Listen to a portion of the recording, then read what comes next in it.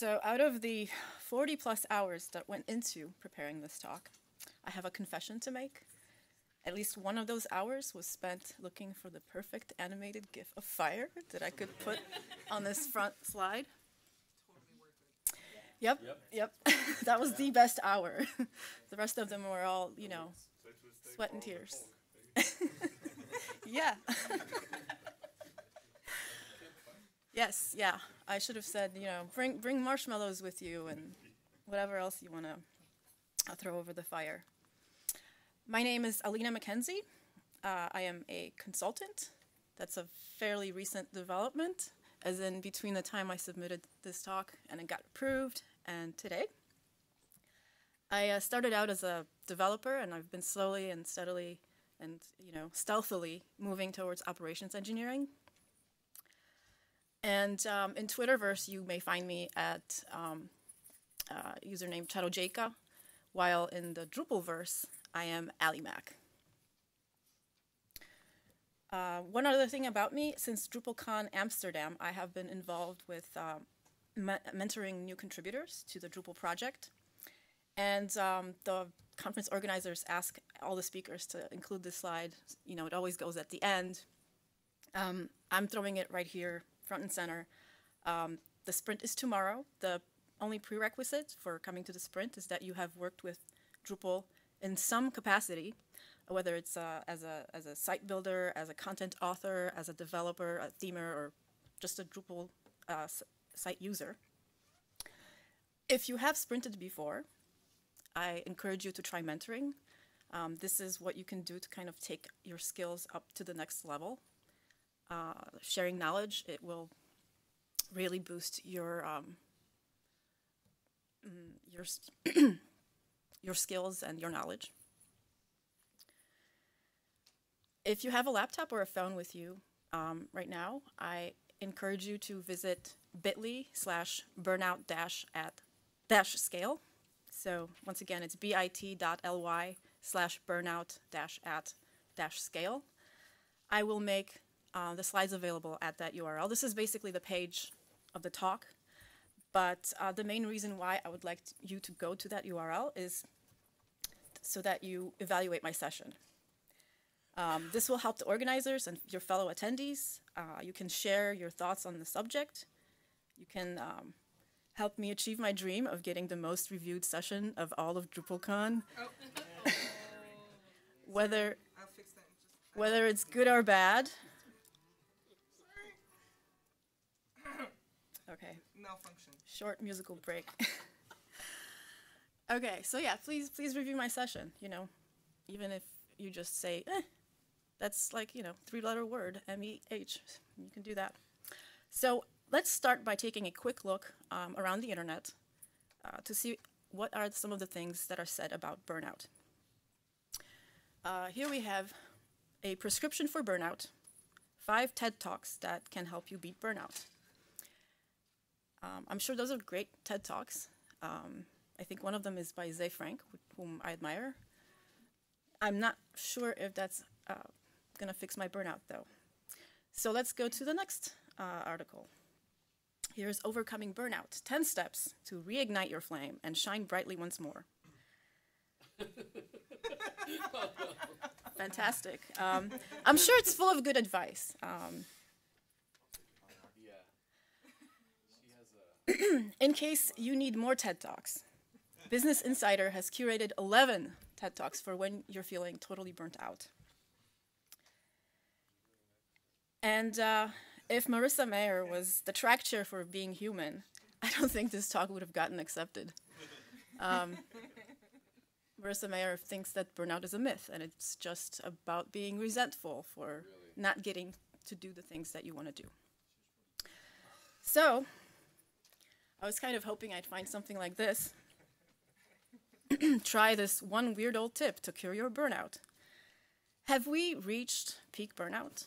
Are we sort of on the way to some kind of burnout industrial complex. The one common theme between all of these articles is that burnout is often treated and viewed and framed as an individual problem, as a, a failing of the individual, as a weakness. We often talk about the burnout of one, and we focus on the burnout of one. But what about the burnout of the many? I wanted to see discussion of approaches to understanding burnout on systemic levels. I wanted to see burnout put in the context of environments in which burnout takes place. So I did the thing that you would do, which is I tweeted about it. This was almost um, exactly a year ago. Um, I tweeted and I asked, well, I said, we should talk about systemic causes of burnout in our workplaces and organizations. And as you can guess, this was at DrupalCon Barcelona, where I'm sure uh, more than one person was feeling burnt out. Um, this tweet got uh, some traction.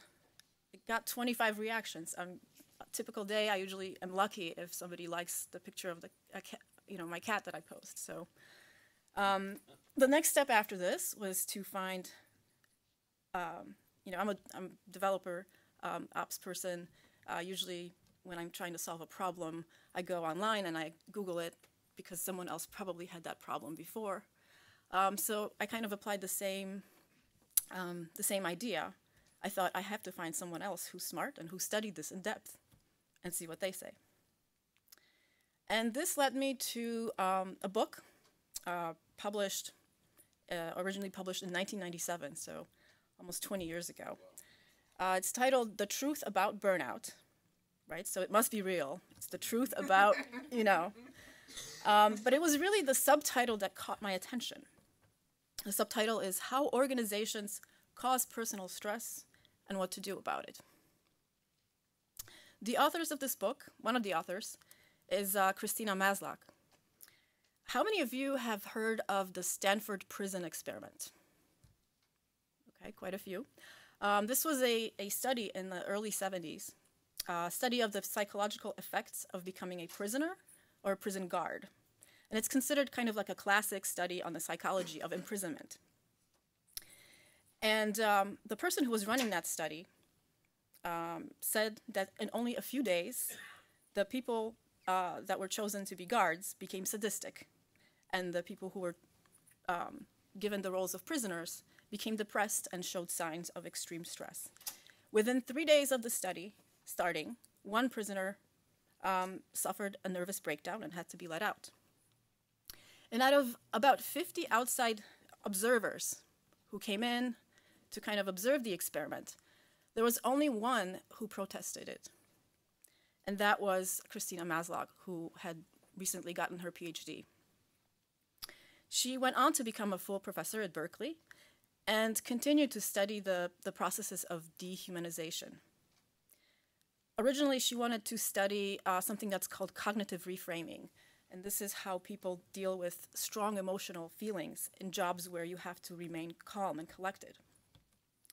And she started with um, interviews of people who are working in the human services um, professions, such as healthcare, um, social services, criminal justice, um, psychological services. But she wasn't getting the answers to the questions that she was asking. Instead, people were coming up and saying, you know, let me tell you what I'm experiencing on the job. And that led her to the conversations about burnout.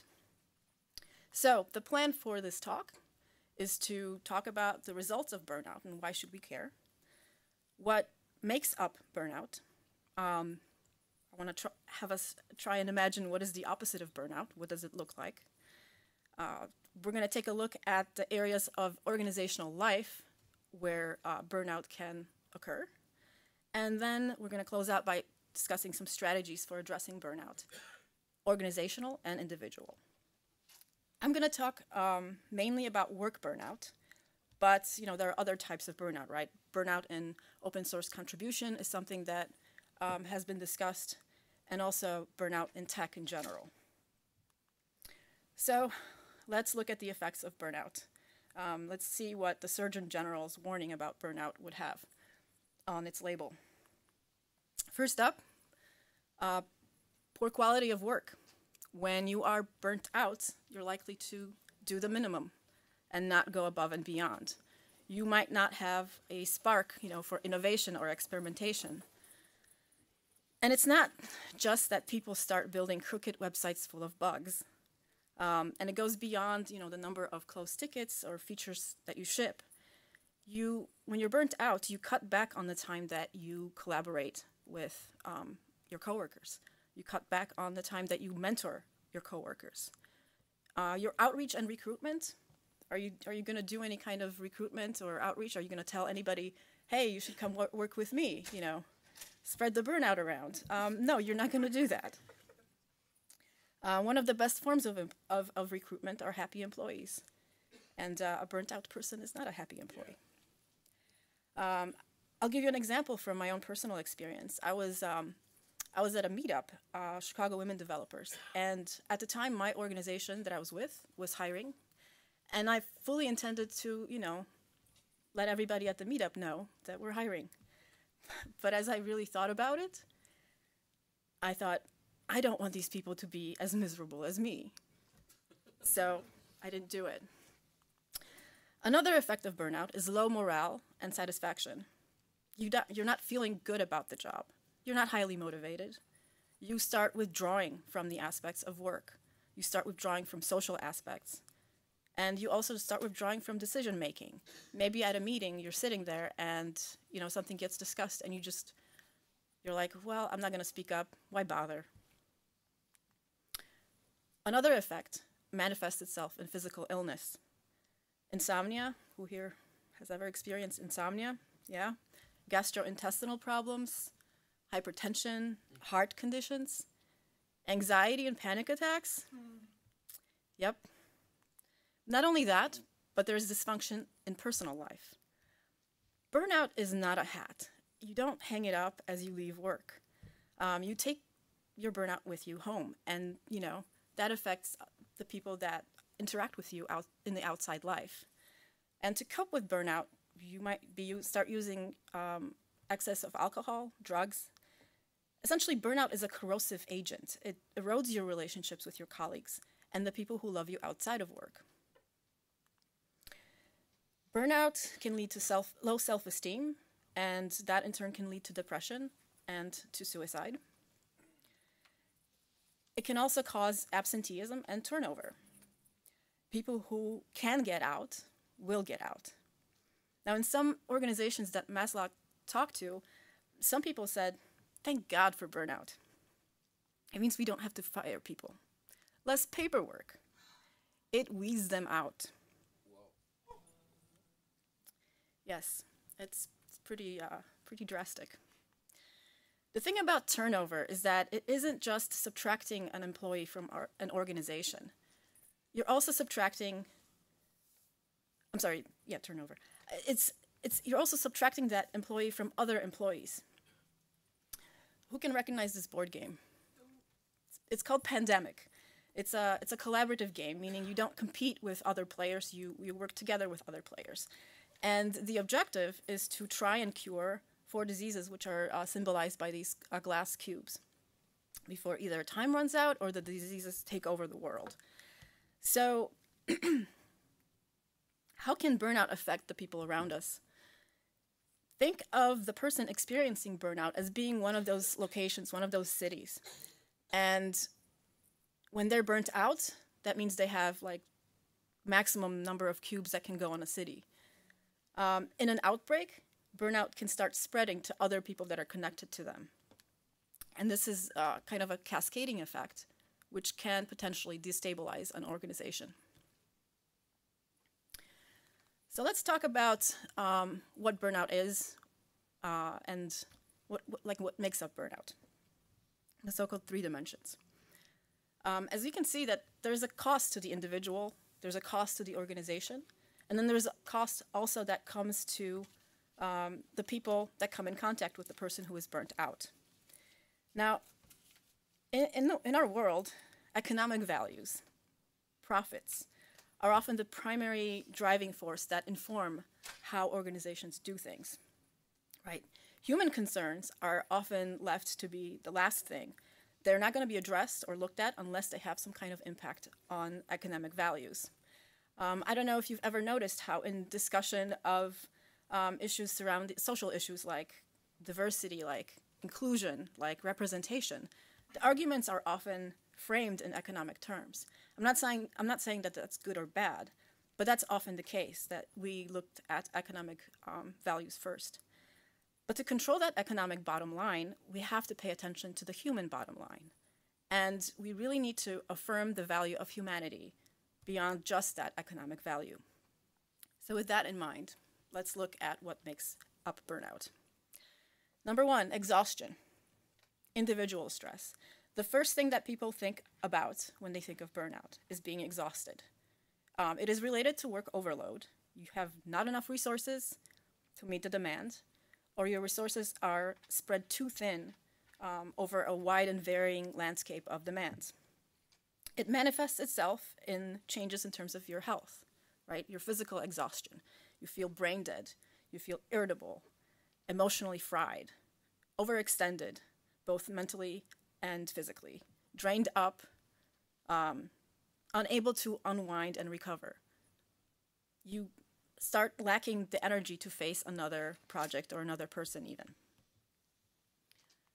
In addition to exhaustion, there's cynicism. And this is where thoughts about the job start shifting in this persistent negative direction. You start having a very negative, hostile reaction to the people and the workplace. You back off from the job, you don't want to be there. You start shifting from doing your best work to kind of doing the minimum, checking out. And in a way, this is a natural reaction to the first dimension, right? If you're exhausted, you have too much to do, not enough resources to do it. Um, the natural reaction is to cut back, right? You attempt to protect yourself from exhaustion and from disappointment. People feel that they, it may be safer to be indifferent, especially when their future is uncertain. Uh, when this sets in, um, as Maslach uh, research uh, indicated, it's very hard to turn around. The last dimension is ineffectiveness. This is seen later rather than earlier. Um, this is that negative, cynical feeling that's turned into inward on yourself. Um, if this kicks in, it could be a precursor to uh, mental health issues such as depression. This is where you give yourself a negative self evaluation, a negative reaction to how you are feeling about what you're doing, about yourself. You feel ineffective, inadequate. You lose confidence. Every new project seems to be overwhelming. Even if you're perfectly capable of doing it, it just it seems overwhelming. And it's kind of a vicious circle, a self fulfilling prophecy, because others begin to lose confidence in you. And it, it, seems like the world seems to conspire against you. And you ask yourself, what, what am I even doing here? So that is our shit pie of burnout. You're chronically exhausted, cynical, detached from your work, and increasingly ineffective on the job. Yes, I, I picked these colors on purpose.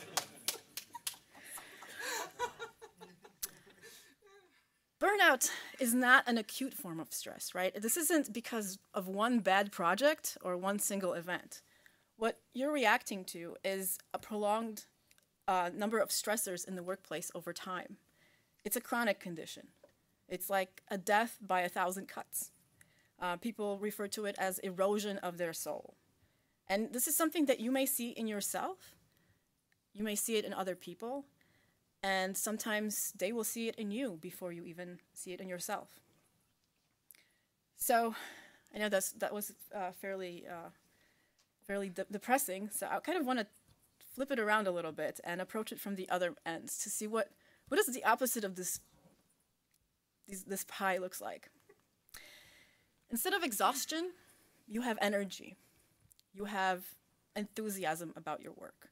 You know, you're ready, you wake up in the morning and you're ready to commit time and effort to the tasks on, on your job. Instead of cynicism, you are involved. You're not dreading Monday. You look forward to going to work, to interacting with, um, with other people at work. You want to be there. And you find the work activities meaningful. And finally, instead of being ineffective, you have a sense of efficacy, a sense of accomplishment, that you have that power to do the things you want to do. And you feel good about what you are able to do, you feel competent and effective. So if we look at those things um, together, really what we have is burnout is not like a fixed point in time. It's more of a continuum, a spectrum. Um, this is the burnout engagement continuing. You're going be from exhaustion um, to energy, uh, from cynicism to involvement, and from ineffectiveness to efficacy. And so you may fall, you know, in, in various spots on this um, on the on these uh, on the spectrum. So how do we do the things that will lead people to have and retain that enthusiasm, to be involved, and to feel effective? Getting rid of the negatives is going to be a different process than um, building up the positives. And this is not to say that one, um, one is better than the other, but we often forget about those positives. And in some occupations, negatives come as part of the territory, and there's often not much you can do to reduce those negatives. Like if you're working in, you know, help desk support, uh, people don't contact you when they're happy about a service, right? They're always contacting you when they're pissed off and, and you know, why isn't this working? um, there's no way to, to reduce the number of these negative reactions that people have. But it could be just as effective to focus on how to how to build engagement, and you know instead of just reducing burnout. Um, Maslach gives uh, an example from her own experience, which I think is pretty pretty good. Um, as a teacher, right? You you work really hard to prepare lectures, and then you know and then after you come back to, into your office and students come into your office for office hours, you just get complaints about grades, not understanding, you know, wh why am I getting this grade? Um, can you increase this, you know? So what she did, she asked specifically, she said, if you have any questions, if you're not understanding something, come see me at my office hours. But also ask students to share something that they found helpful, interesting, and good. And you know what? Students started coming in to tell her some positive things as well. And this helped her feel more engaged um, and less burnt out. So we want to find low-cost ways to support that engagement. Where can we find, um, where can we find those ways?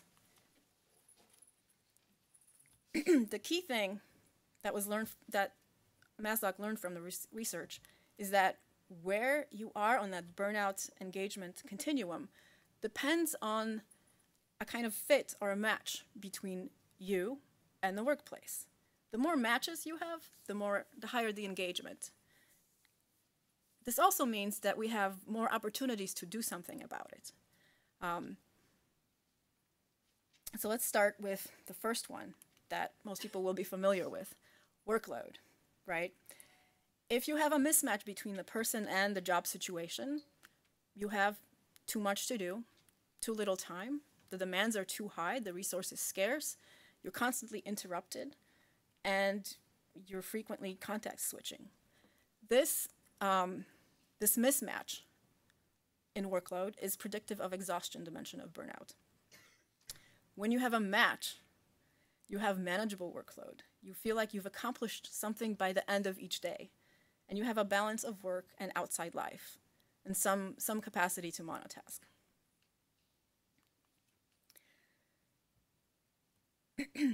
Being a great firefighter looks great on, from the inside, but from the outside, it looks like a bunch, a bunch of excuses for not improving.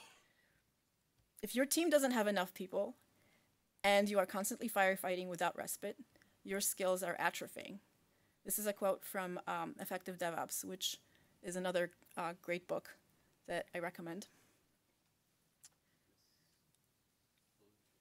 So in organizations that Maslach worked with, people predicted that workload would be like the biggest problem, but actually the research suggested that it was the other five areas.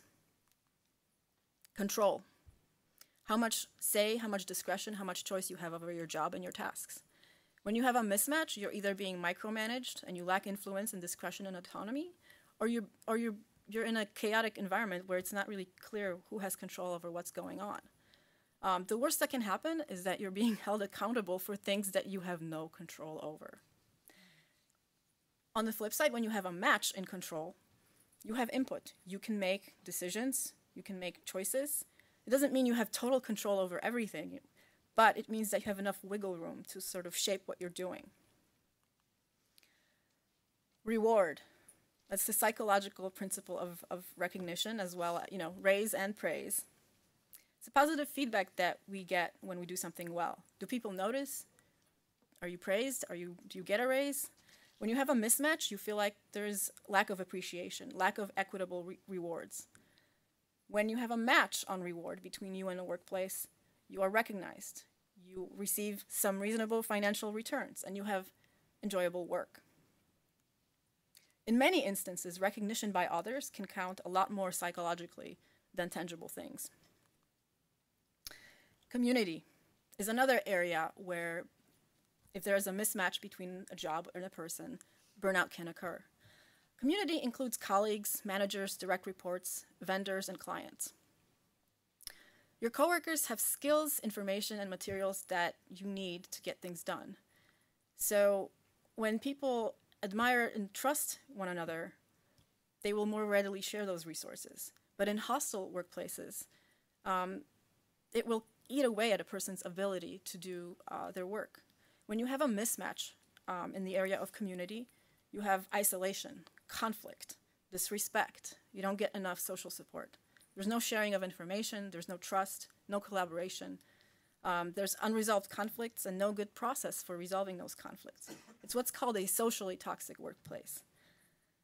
When you have a match in the community, there's cohesion, there's cooperation, there's social support, there's respectful handling of disagreements. Another quote from, uh, uh, from my favorite book, and I posted this on Twitter and it, got, it also got a lot of reaction. Um, giving people the time and space to strengthen bonds leads to better retention. We often stay at jobs longer than intended because people make the difference. I think it's quite important. The next area where a mismatch can occur between a person and a job is fairness. It's about the sense of, of justice that we feel about who gets what assignments, who gets promoted. When people perceive their environments to be unfair, you know, their primary reaction is going to be resentment, anger, hostility. When you have a mismatch in fairness, um, there are secretive political deals going on, cliques, there's lack of procedural justice. It's all about who you know. On the other hand, when there's a match between a job and a person, you have open resource allocation, you have effective appeal procedures, and there's transparency about things like promotions. Now, it's important to know that this is all about perception, right? Things may or may not be fair or unfair, but they are perceived as such. And, you know, if people feel this, that this is going to drive their behavior. Um, fairness, mismatches on fairness is, are most closely tied to the rise of cynicism. And um, in Maslach's research, this was an early warning sign. People who perceived favoritism, cheating, or other inequities in their workplace were more likely to be burnt out by the end of their study. Um, conversely, other employees who may have had mismatches on, in other areas, but who viewed their workplace as a just environment, they often came back and tilted toward engagement by the end of the study. The last area is values. Values are what makes life meaningful. What is it about the work that I'm doing that's consistent with the values that I'm pursuing in my life? When you have a mismatch, there are ethical conflicts. What you believe in versus what the job asks you to do. You sometimes say things like, this job is eating my soul. The, the conflict between values can also occur between what the organization preaches and what it practices. You know, the organization may say, oh, we believe in providing customer oriented service, but then your performance is evaluated on, you know, upsells and selling things to the customer that they don't need. Conflicts can also occur between organizational values, such as, you know, organizations that say, oh, we believe in work life balance, but then their policies and practices say otherwise. When you have a match, you have meaningful work, and you have an overlap of personal and organizational values. So these six areas where um, match or mismatch can occur that can lead to burnout are workload, control, reward, community, fairness, and values. And we can roughly map them to uh, Maslow's uh, hierarchy of needs. For example, for basic needs, think about you know fair compensation, which aligns with reward and fairness. For the safety and security, you need to feel assured that your job is not going to disappear on you, that your work is valued by the organization, and that the organization is going to be open and forthcoming about things that might impact uh, you, you know, such as potential layoff, layoffs. This aligns with control and community. For belonging, people need to feel comfortable in their workplace and appreciated by both their managers and their peers. And this aligns with community and reward areas.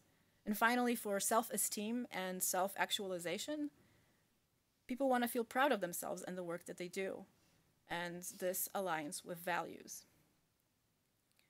So once again, um, here are some of the mismatches that can occur that will produce burnout. Work overload, lack of control, insufficient reward, breakdown of community, absence of fairness, and value conflicts. The more mismatches you have, the more, the more likely that burnout will occur. So, is it the person or the job? When we focus on people's behaviors, we tend to focus on people's problems. And that often makes burnout a personal issue, right? Because we experience it on a personal level. We think, oh, maybe it's a character flaw. And this focus on the individual is why majority of burnout prevention techniques will focus on that personal scope. You know, what's wrong with the person? it doesn't tackle the larger environmental and social system issues. And what organizations often do is invest in you know personal change programs like like workshops and uh, uh, stress management you know um, uh, workshops and stuff. This is valuable to organizations because they're very low cost individual uh, strategies. However, they often have low return on investment as well. And many people find them demeaning or patronizing because essentially what they say is you don't know how to take care of yourself. And even if you take advantage of those and you change your own behavior, you're not changing the social envi environment in which you have to work with, in which you exist. The research data says that it's really the job situation what is happening in those work situations. So, is it the person or the job? Well, it's, it's both. You have to look at a person in the context of their workplace to understand what's going on. The context is the workplace, the relationships that people have in the workplace. and organizational approaches, rather than individual approaches, can be more productive than an individual approach because changing things at work is never going to be an individual process. It's not going to happen. It has to be a group process. So, uh, Maslach discusses two organizational approaches and offers case studies and example for both. The first one is bottom up. This is where it starts with a person who knows the six paths from mismatch to burnout they have some kind of ability to work with their colleagues because you can't go at it alone. And you have the commitment to stick with the process of change. Um, so that employee goes and you know seeks out other colleagues who agree with them and um, want to work on this because you ultimately are the subject matter on your job situation.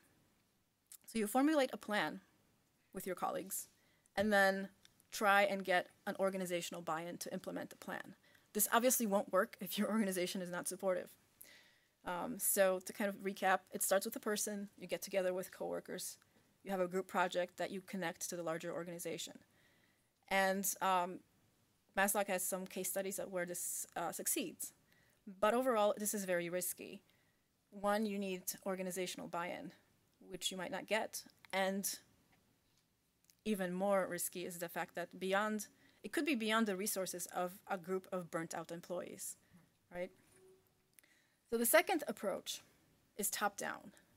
Um, it starts with management, it becomes an organizational project, and then ultimately it connects with the people in the organization. Any kind of um, organizational intervention to build engagement and to prevent burnout, it has to be an inclusive project, right? It, it, it, it's not something that you do to the people, you have to do it with the people. So, what's the outcome of this? Do you get a burnout proof organization? Do you get some kind of certification? No. Like documentation, like security, the outcome is a process. So, where do you start? Well, in um, most organizations, you do things like financial audits, right? Or security audits. Those are standing operating procedures to assess how an organization deals with its fiscal responsibilities. In turn, what we do in this case is a staff audit. You assess how the organization deals with responsibilities tied to its employees. The goal is to identify problem areas, much like you would go to a doctor and get your vitals and blood work done. Um, or much like you are looking at your Nagios dashboard to see, you know, which servers need to be um, restarted or whatever. So an effective organizational strategy to address burnout begins with a staff survey on key aspects of organizational life. The staff survey you are aiming for as many people as possible to answer it. You don't want just the people who are like, let me tell you about this. You want everyone to participate. Um, in their studies, uh, Maslach aimed for 80 to 90 percent, and you will have to work very hard to get you know high number of participants. The survey has to be anonymous. It has to be confidential, um, and it, if you have a large organization, it should be broken into organizational units. There are two phases to the survey. One is finding out what's going on with the organization's uh, workforce, and then using that information, well, sharing that information and using it to improve the organizational culture. What goes into the staff survey? Well, you ask questions about the three dimensions of burnout and the six areas of work life quality. But in addition to that, you ask questions uh, related to management areas, such as communication. Are your the, is there a clear line of communication and credible messages that your employees are receiving? Supervision. Are the supervisors, managers supportive, responsive? Are they effective? Professional development. Is there support in your organization for skill enhancement, doing work that builds skills, um, support for work culture for learning, or is that something that's delegated to you doing on nights and weekends? You ask about cohesiveness, which is uh, supportiveness within a group and a shared values within a group. You ask about the view of the organization over time and the confidence in the organization's future and overall assessment of the organization. What you get from a staff survey is an organizational profile. And it's a profile of the organization as a whole, but then if you have subunits, you can break it down by subunit so you might find that you know burnout is prevalent in some units, but not others. And different groups could be de dealing with problems in different areas. The reporting stage is critical to the success. You have to have a report um, and share it with everyone, and you can share it. You know, um, you're in this subunit. This is how the organization looks like as a whole. This is our profile. Um, this is how you compare. You know, within your particular work group. But it has to be um, timely and short and um, address the objectives. All right, so you have that profile, now what? Right, Alina, give us the answers. Give us the, the, the pill or the red pill or the blue pill to fix this. Well, there is no simple answer. I'm sorry to disappoint. This is where like most of the negative re reviews of the talk are going to come from. Um, That's why you had to do it at the beginning. yeah, um, not enough fire in this talk. The thing to remember is that factors in work environment play a much larger role in predicting influencing burnout than any kind of individual variables. So building this profile will help you clear up any kind of wrong assumptions that could lead to solutions that completely miss the mark. Um, gives a really great example of this. Um, there was, at the start of the school year, um, there was uh, uh, an assembly of teachers that were given a speech by a motivational um, speaker and they're sitting there as they're like faced with like budget cuts and you know increased classroom sizes and staff cuts and everything and then there's this motivational speaker you know, motivating them. Um, that was not what they needed. And it made them feel extremely patronized. Sometimes the result is not what people expect. Um, common expectation is that it would be the biggest problem is workload or reward. But sometimes it's something in the other five areas um, that makes you know the workload difficult.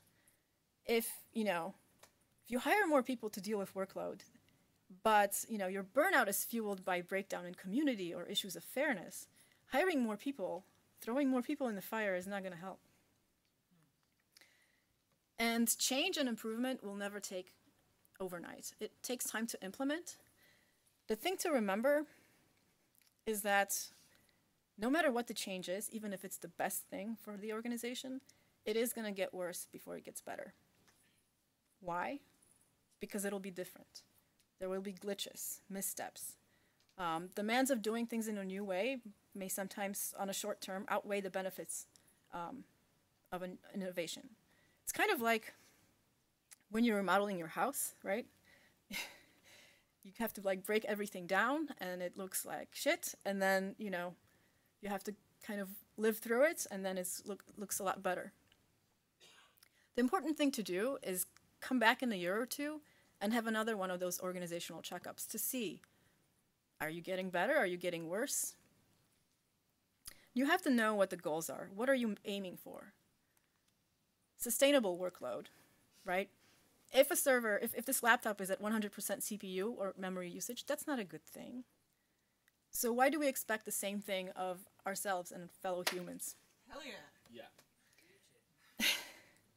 You want sustainable workload that keeps you going, lets you come back energized, and allows you for experimentation. Choice and control in what you do. Appropriate choice and control in what you do. Recognition and reward, both intrinsic and extrinsic.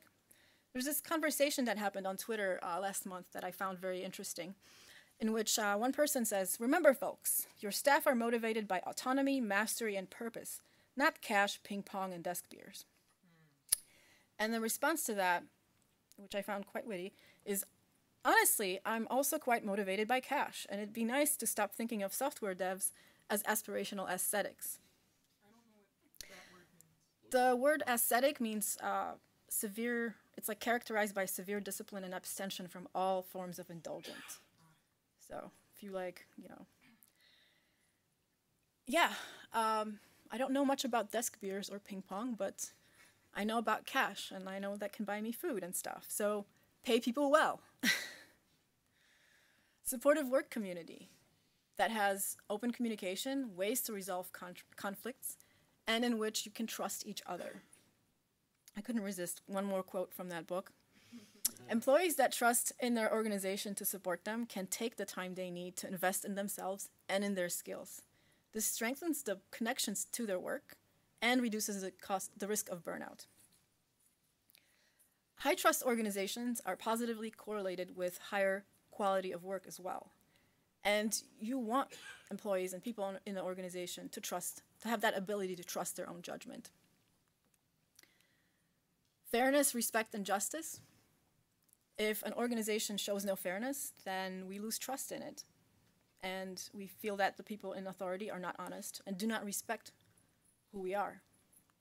Finally, we want clear values and meaningful work. Okay, so as I was preparing this talk, I struggled with exactly how much, how personal I was going to make it. And um, after some thoughts, I, I opted for, for the following. This is, um, this is an open letter uh, to everyone who is who's feeling stuck, to everyone who is feeling hopeless. Uh, maybe the, no one here is feeling that way, which would be great, but um, this is for you. In 19th century factories, during industrial revolution, workers were seen as cogs in machines, easily replaced. And then there was considerable effort and legislation and protests that to end that exploitative, um, that set of exploitative labor practices. But the idea of the workplace as an inhumane, efficient machine that just feeds on people and talent, it is back. Organizations, unfortunately, often do not expect to retain their employees forever, and as such, they are unlikely to serve your long term interests. If you're in that position where you are burnt out, here are some of the things you can do. Think of yourself as an independent contractor, even if you are not, um, a company of one. And then make the primary focus preparing yourself for whatever next career opportunity that may happen. You will need to stick to a routine, even when you are pressured to behave otherwise. I have an example of this, not from my personal experience, but somebody I know.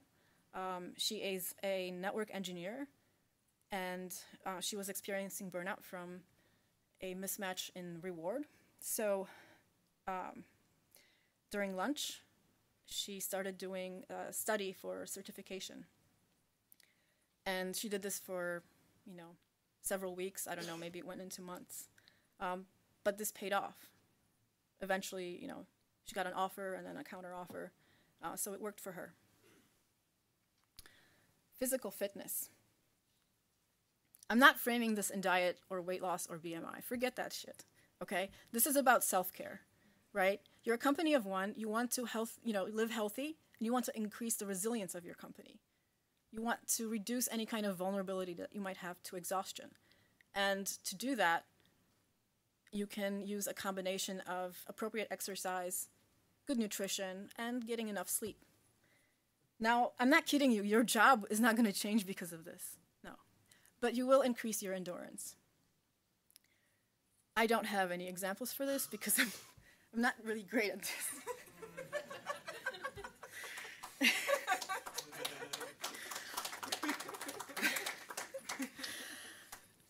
recovery cycles. Integrate some kind of recovery cycles into, um, into your everyday activities. You want to give it a structure, otherwise you will not make time for recovery. Um, you could incorporate, you know, small amounts of exercise like a midday walk into your workday. If you have a friend at work, it's always a good thing. Recruit them and share that burnout reduction project together. Having a mutual support is very, very powerful. Um, my example of that is that I was um, with my office mate. We decided that we're going to schedule time every day at lunch where we're going to watch My Little Pony and not, you know, not worry about work or email or, or anything. That was our time. Um, I would always try to guess what the plot twist would be, and yeah. Um, positive feedback. We all know that receiving good vibes from other people is really, really uplifting but so is expressing them to others. And this is really, really tough to do when you are burnt out. I know this because burnout corrodes your empathy. And it, this is why it's crucial for you to hold on to that, to nurture that empathy, and you know keep keep doing those acts of kindness towards your colleagues. Maybe not the assholes, but you know the, the people who are neutral. An example um, from my own experience of this is I um, implemented a chatbot in um, our work chat and it had a module for giving kudos um, or props to other people. So you could say, you know, username plus plus. That would give them a point. The points didn't really matter. It's more about kind of like a public expression of appreciation for your um, colleagues and for what they do. The final bit of advice that I have is job crafting. This is where you identify uh, duties that you find tedious and also aspects that you find fulfilling, and you attempt to increase the instances when you do the fulfilling work within whatever you know ability that you have. Your job is a collection of tasks and interpersonal relationships that you have assigned within an organization. So see if you can redesign your job to get a little bit more satisfaction from it. You know, maybe alter boundaries and take on more or less tasks, um, change how you perform certain tasks, or change the nature or extent of interactions with other people, like, you know, avoid assholes altogether, if you can. Um, you very likely have a more attitude, more latitude in your work than you think. Uh, example of, of, this from my own experience, I uh, we were rotating. Uh, there was a rotation of who would answer tickets every week, and it it would be like this wild range of tickets, you know, ranging from like web-related stuff and email-related stuff. And I said, okay, here, I'm gonna take over the web-related tickets full time, but never ask me anything about like restoring somebody's inbox again, you know? And so this way I kind of did a little bit of job crafting. Um, I also started to like slowly, you know, inch towards operations and like mm, stop doing development work. So that's the other thing. All right, if you want really cathartic, if you're burnt out and you want really cathartic reading, I highly recommend The Truth About Burnout. This was uh, a chicken soup for my burnt out soul, basically. And it's like penny plus, you know, shipping from the usual places. The second book that I highly recommend is uh, Effective DevOps. Uh, and, you know, if DevOps is too buzzword for you, forget the DevOps, okay? Focus on that subtitle, which is Building a Culture of Collaboration, Affinity, and Tooling at Scale. Um, everything is better when you add at scale at the end.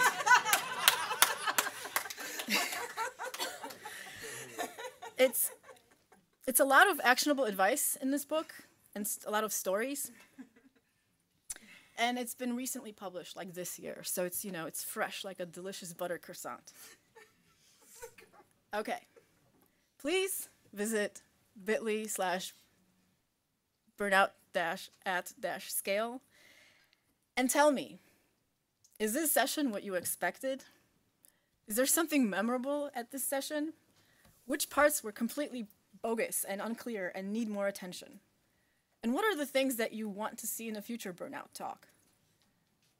My DrupalCon uh, Dublin dream, again, is to have the most reviewed session, whether you hated it, liked it, or are indifferent. You know, you can just say, I'm indifferent. I don't remember this session. I was there, but I don't remember it. Um, yeah, say that in, in, in your feedback, and uh, thank you very much.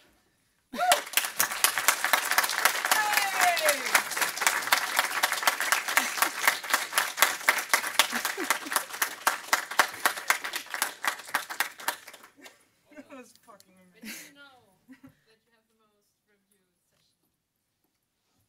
I, I don't know. I'm gonna I, I, probably I'll ask the you know.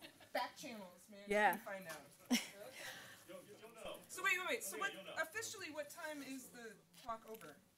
In, in 10 minutes. Okay, Seven, so seven minutes. so we can all literally fill out the survey right now. Yes. Lock the doors. You cannot leave. I Uh, got it. I'm doing it. Right? Do, does anybody have any questions or things?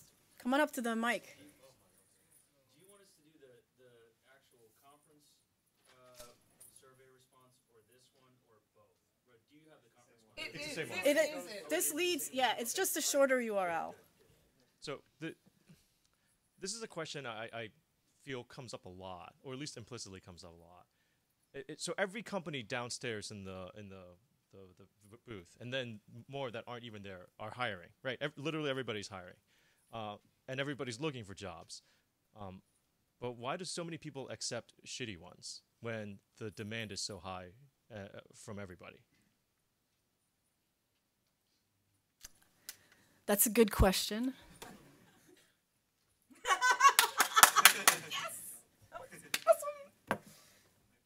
I, I don't know. Does anybody have any idea? Mike.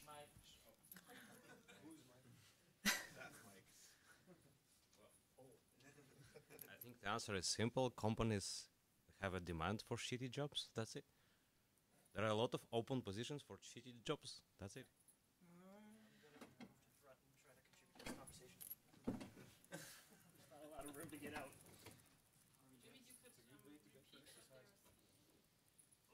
Yeah, the, in in the room, that mic uh, isn't very loud. It's probably okay for the recording, but if you could repeat it with your mic, that will help. Okay, sure. Hi, excellent session.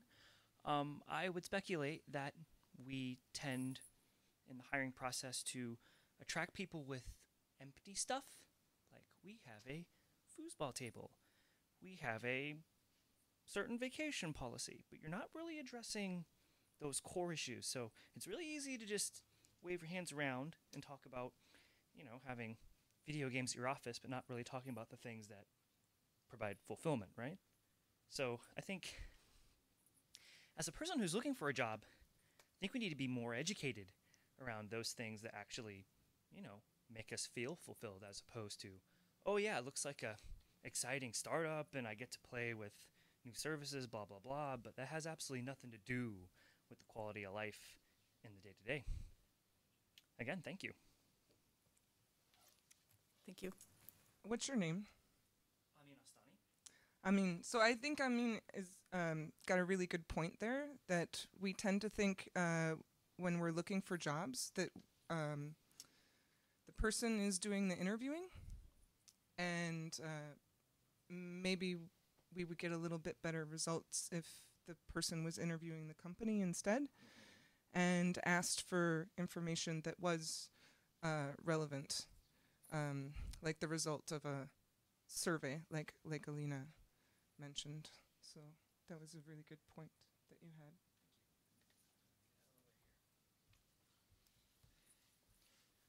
So I'm Gabor. I think we accept shitty jobs because we believe that it's going to improve. Like we we have confirmation bias because we accepted the offer and we are there because it must be good. So it needs to improve somehow. And if we don't do steps ourselves for it to improve, we just expect it to happen somehow in some way for us, then it it may not improve and then we'll just go into this endless cycle of, of burning ourselves out in there and then if we don't don't just leave there then it's it's becoming a disaster. So I think we we may not recognize it early enough because we are, we have this confirmation bias that it must be somehow good.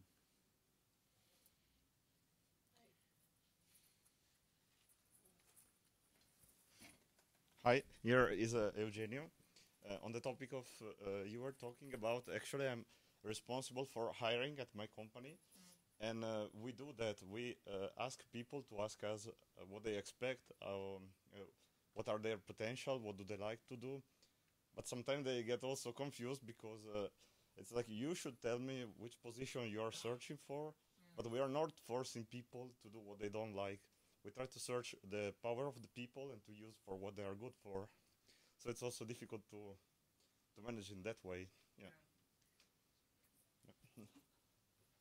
I also think there's a tendency to take uh, ownership over other people's problems. Um, I think that there's. I didn't attend any of the imposter sessions this this this period, but I think there's a lot of. I've seen other information online about how that's something that you tell yourself. I should solve the imposter syndrome myself by thinking of myself differently, as opposed to expecting other people to treat me differently. And so I think a lot of times burnout comes from this person treated me badly or I don't feel fulfilled or I don't and there's something I should be doing to fix it myself. I shouldn't be bringing my problems to someone else. I should be addressing them. And so I think that there's almost too much empowerment or too much expectation of, of being people being self-actualized and not enough support of, of trying to get people there. You still have two minutes to fill out the survey. I also would like to point out that some companies uh, might not necessarily know the kind of job that they actually are. This is particularly bad with companies which are fast growing or have very uh, deep management structures because those at the top might not necessarily have the impression of what it's like to be an employee at the coal coalface. And when that cognitive bias kicks in, people at the top might think this is an awesome company, we're great, everything's wonderful, and they only talk to the top level. And of course, they want to make that person happy, and the person below that wants to make them happy, and everyone else is miserable on the bottom. Mm. and that actually happens a lot in large organizations. I've seen it in IBM, I've seen it in HP, and it just gets buried by the management structure. So it's something you always have to be careful of. Don't just ask, you know, the next supervisor if you're a CEO. If you're a supervisor, don't ask your team manager, ask every person individually. You can keep going if you Now want. I'm done. Okay, so I have, I have a question. I hope it's like, what are your tips for dealing with burnout? Because you have the answer to those. No, I'm going to ask you a question you don't have the answer to. So, sometimes I go to like super amazing talks. I remember going to hear um, Greg talk about the community. And um, I would put this talk right up there with that one. And I feel like what happens with these really great uh, discussions and sharing of information and helping us kind of understand because it, it's limited to the people in the room. And the people in the room it's helpful for us uh, and it's entertaining for us. And i'm really really glad that i was here but i'm so goddamn pissed off because the people who can affect this change are not in the room. And and i don't know what to do about that. Drag him in here. so um i am not as good a speaker as as alina is but I was keynoting it at drupal north and um when they when they asked me to do that i felt like i had everybody in the room that would never go to a talk like this and so i i gave what what i felt was like the things that i thought were really important for people who would never be in the room right? So that was that was cool but like i don't know what to do about it like in general because it just happens over and over again. Like i hear people like share amazing things but i feel like that information doesn't get to the other people and i and i feel like we're in this talk and like the people who need to be here okay some of you probably are i'm sorry. Um uh okay props props for being here. But i feel like there there are people who need to hear that who hear this who aren't in the room and so what do we do about that the people with the um, energy uh, resources and autonomy to make a change in an organization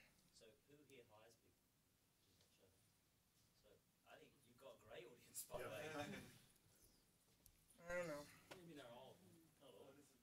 More, right? We're a tiny little room at a giant conference. Can I ask one related question then? Um, what is, what's the, uh, Alina, can I, I w- Jack?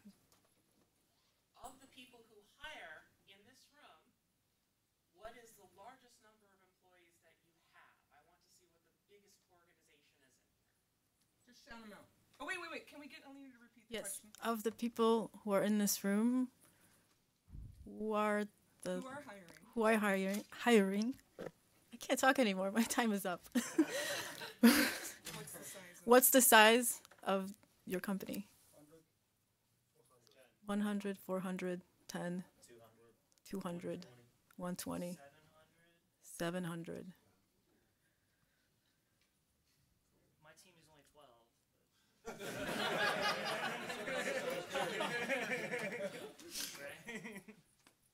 So what would be the next step for those people who have that many people?